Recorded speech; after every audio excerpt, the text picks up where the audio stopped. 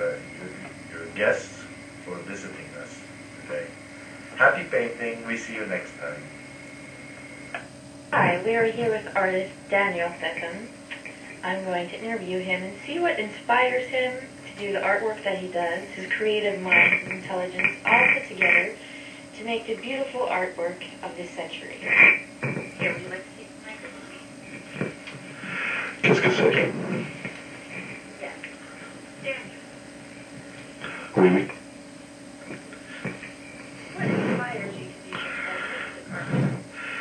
Uh, the things that have most influenced me in the, the, the things that you mentioned of uh, creativity, originality, uh, is has been my trips abroad uh, from from this land.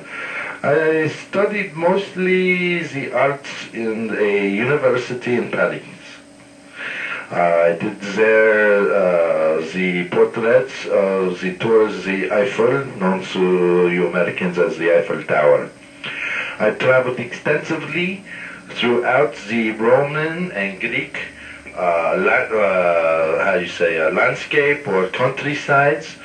And here is where I found the tranquility and the peace to be able to manipulate this feeling onto a two-dimensional plane.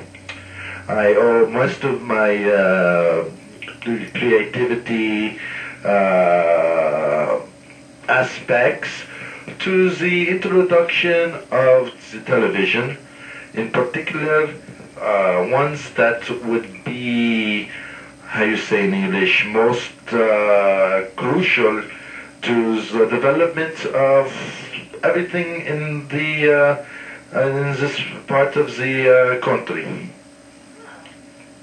to hear that.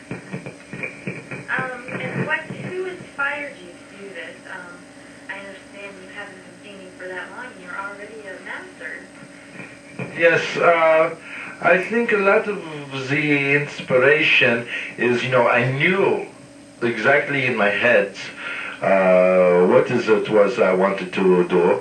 And it was a matter of finding uh, a little bit of time and a little bit of monies, of course, to uh, which we will discuss in a little bit of how you can help uh, me uh, uh, continue in this uh, work of art. A little bit of money to buy the initial uh, materials, um, the cost of the paints, the brushes, the canvases, uh, and to be able to exhibit openly on the free market. And I like to thank, I guess, mostly George Bush for his interest in the fine arts. Uh, without this uh, great man's dedication, without this great man's uh, uh, willingness and desire to promote from uh, within his own communities uh, the things that people would be most interested in doing and to foresee the foreign uh, exchange of uh, both ideas and policies, political, religious, and uh, historical. Uh, he can only be summed up as a, uh, in how we say in English, uh, the prize, the Nobel Prize, Pulitzer Prize, you know, what I, I'm saying, one of these people who, who would win this award. Uh, when he is giving the opportunity to display his uh, proper authorities. Okay, well, thank you, Dan. This is Dan Sessions with NBC News, and then Irish Next Next we have Jeff Lasky on facts you really don't know about Nico. I will- I will- if I can, uh, one minute uh, before uh, before the, uh, you interrupt uh, this interview.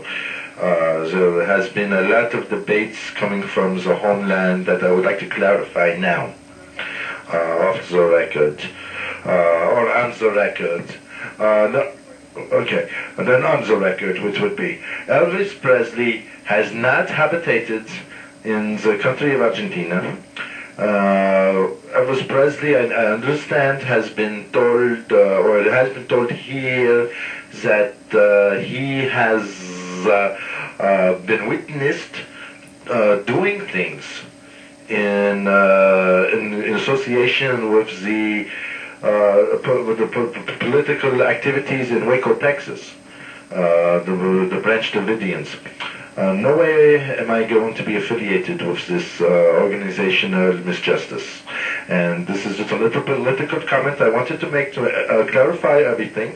Uh, but I would like you to join me in uh, my next episode of Painting at Home, How to Have Fun, How to be going from an introduction beginner to a person like myself of world-class uh, recognition in two or three months.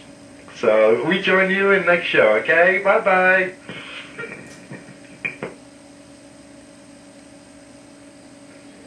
Good evening. Here we are tonight on a very special program with a very special guest of painting at home.